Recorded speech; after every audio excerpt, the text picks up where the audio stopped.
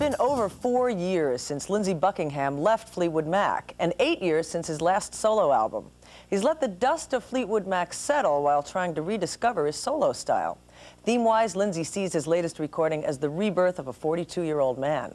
He calls it Out of the Cradle, and he says the process of creating this album was rather monk-like.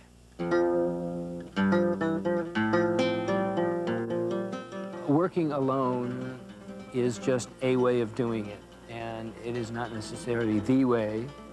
It's just a way that you choose. If you, if you are someone who can be that self-sufficient in the studio, you know, it's just a way to go.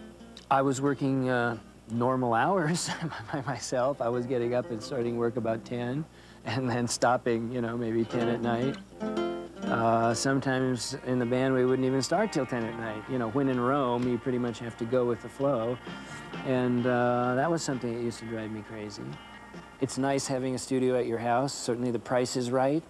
For better or for worse, I define myself through my work a great deal. And having it at the house is just an extension of the rest of my life. And it just seems to make sense for me. Well, there's a shadow on my daddy's stone where he was laid, laid to rest. I ask him, is this just a dream?